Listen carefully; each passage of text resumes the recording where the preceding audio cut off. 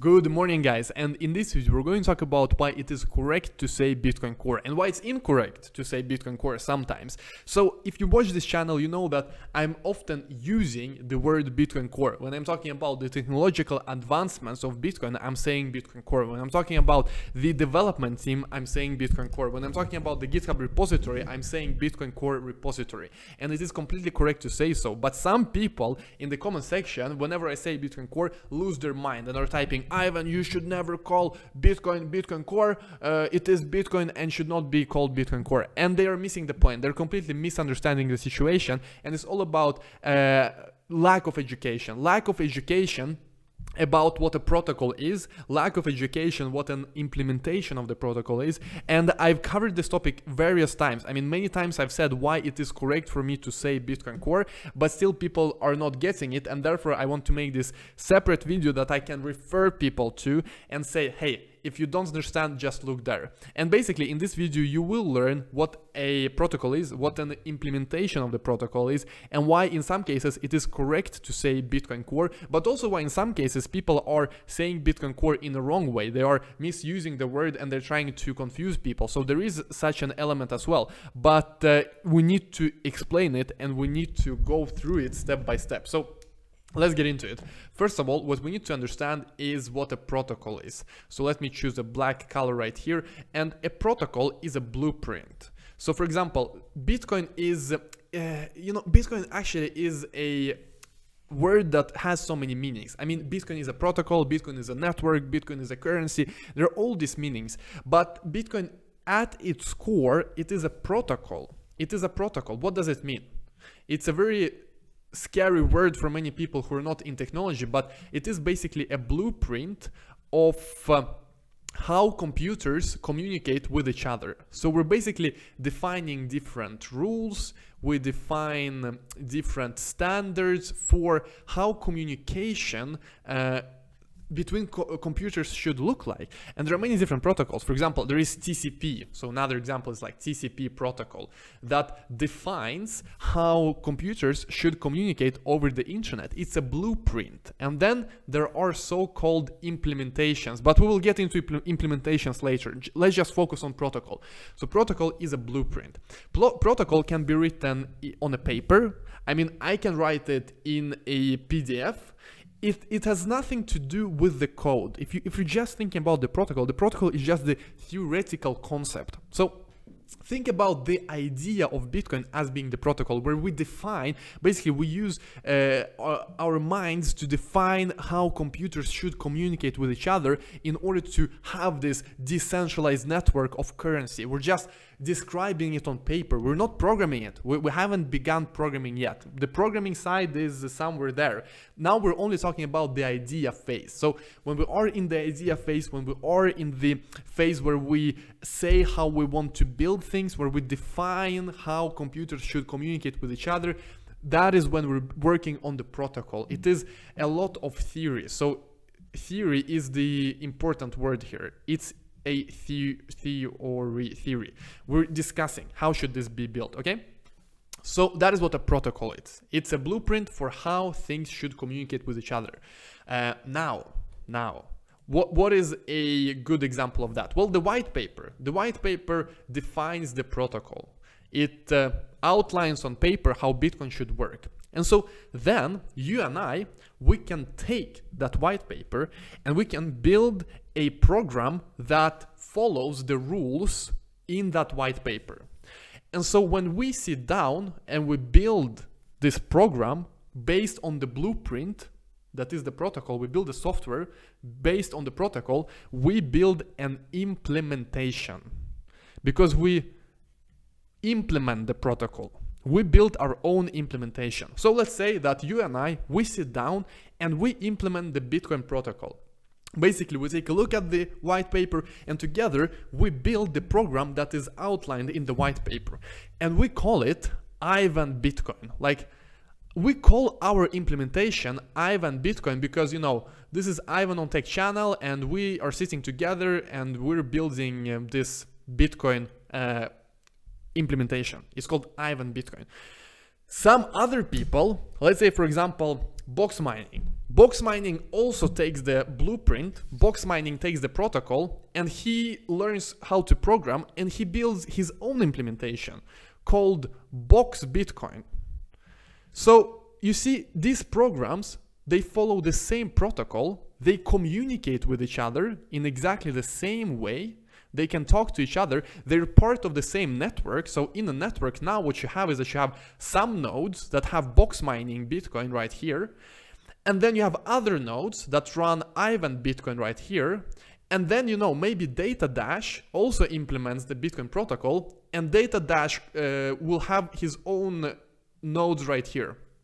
And you see, this is a network of computers and because they follow the same protocol, they can talk to each other. So it's all the same network. Everyone is talking with each other because everyone is using the same protocol and the communication happens between all the different implementations. So you see, we have several different implementations of the same protocol. Now, we might have been using different programming language. Maybe this is a C++ implementation. Maybe this is a Python implementation. Maybe, you know, DataDash wrote his in Java or something. Like, it doesn't matter. What language you choose does not matter as long as you follow the rules and as long as your software communicates through the network with other nodes in the same way. Because if I'm a node right here, I don't care what language the other node is implemented in. I only care about how they communicate with me, what kind of messages I receive and what kind of messages I send. That is the only thing I care about. I mean, the last thing I care about is how exactly this particular node operates and nodes like Ivan Bitcoin nodes, you know, this uh, uh, pink nodes right here, they will not, not even recognize that other nodes are uh, different implementations. I mean, most probably there is some kind of information that tells which implementation it is, but theoretically it shouldn't matter. The nodes should not care about which other implementations they talk to, because this is a network that implements the same protocol. So if we now remove our silly names like uh, Ivan Coin, Ivan Bitcoin and Box Bitcoin, what you have in Bitcoin is a an implementation called Bitcoin Core. So this is the most popular implementation of the Bitcoin protocol. I mean, guys, we're talking about BTC. And Bitcoin Core is one of the implementations. So it is a team of developers that develops the Bitcoin Core implementation of the protocol. But then you also have other implementations. Here's a list of them. For example, you have uh, uh, Bitcoin Core right here, and you see that it is a uh, full, uh, you know, full network security. Basically, that you have your uh, full blockchain, and you need 120 gigabyte of storage to download it and to to run it. But then there are others. I mean, you look at all of these different implementations, many of them are not even active. I mean, this, this is a historic record of all of them because you realize that some teams, they uh, do not support their wallet anymore, they're not supporting their implementation anymore. But then you have like Bitcoin D, for example, it is also a full node. You also need 120 uh, gigabytes of storage. And so what you have is that you have different implementations of uh, the protocol. So you have Bitcoin Core, you have Bitcoin D, and then you might have others as well. So when I'm referring to a particular implementation of Bitcoin, uh, I'm referring to this particular Bitcoin Core implementation. And we're still talking about BTC. I mean, this is why the word Bitcoin is so, is, it has so many meanings. Because Bitcoin means the protocol, but within BTC. There are so many implementations, and this is the you know most popular implementation. Basically, everyone is using it. Uh, it's called Bitcoin Core, but it is an implementation. Now you have a similar situation with Bitcoin Cash. So you have the BCH uh, coin, and they have their own protocol. Let me actually remove this text and this color. They have their own protocol. Let me also draw a line here. Uh, they have their own protocol and also they have their own implementation. So for example, you have Bitcoin ABC, which is an implementation of uh, Bitcoin Cash uh, uh protocol. You have uh, Bitcoin Unlimited, which is also an implementation. And so you see, it's all about what you're talking about. In my videos, I'm often referring to the Bitcoin Core uh, repository. I'm often referring to the Bitcoin Core implementation. So it is completely correct to say Bitcoin Core in that sense if you're referring to a particular implementation. Much like when you're referring to a particular Bitcoin Cash implementation, you might say Bitcoin ABC. And it's not like people in Bitcoin Cash will start yelling at you, you know, why are you calling Bitcoin Cash Bitcoin ABC? Because it's completely correct to call it that. It, it's an implementation of the protocol, the same as Bitcoin Unlimited. Uh, so when people are yelling at me that I'm using Bitcoin Core when I'm talking about implementation, it's like if I said Bitcoin Unlimited and Bitcoin Cash people would yell at me, you know, Ivan, you shouldn't be calling Bitcoin Unlimited, Bitcoin Cash, Bitcoin Unlimited because it's Bitcoin Cash. But like I'm talking about an implementation, not the coin itself. Now, that being said, I hope you understand what a protocol is and what implementations are. And by the way, here are a few implementations of Bitcoin Cash. You have Bitcoin ABC, you have Bitcoin Unlimited, you have some other BXT. I don't, I don't even know this, but uh, the most popular ones are Bitcoin ABC, Bitcoin Unlimited. Uh, but something else important is that uh, there is a movement that, yes, in fact, tries to call BTC uh, Bitcoin Core. And in my view, this is incorrect. Like th this is not correct way to call BTC. If you're calling the whole coin Bitcoin Core, this is incorrect.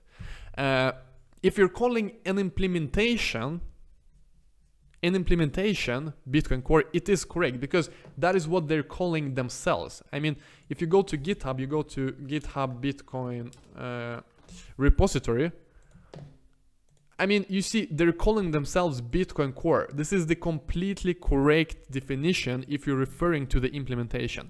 If you're referring to the whole currency as Bitcoin Core, it is incorrect because there is no such currency as Bitcoin Core. There is Bitcoin and there is Bitcoin Core implementation of Bitcoin, okay? The huge difference, huge difference. And the this is where you see a lot of Bitcoin Cash people trying to, you know, rename Bitcoin to Bitcoin Core. And I think it is wrong. Like, it's definitely wrong and it is only toxic. Like, people trying to rename the whole project to Bitcoin Core. And it will never work. It's not working. And therefore, it's, uh, it's just a waste of time. But you see that Bitcoin Core developers are calling themselves Bitcoin Core, so, so it is completely correct to call the implementation Bitcoin Core. Anyway guys, I hope you understood, I hope you learned something, that is the most important thing of course as always, uh, and I hope you know a bit more about protocols and implementations and why different implementations are called differently and why it's completely correct to say Bitcoin Core if it is the case that you're talking about the Bitcoin Core repository. Guys, thank you so much for watching. See you tomorrow. Smash the like if you haven't and have a great, great day. Enjoy your, tomorrow is Tuesday. I'm pre-recording it. Enjoy your Tuesday. Have a great day and goodbye guys. Goodbye, goodbye.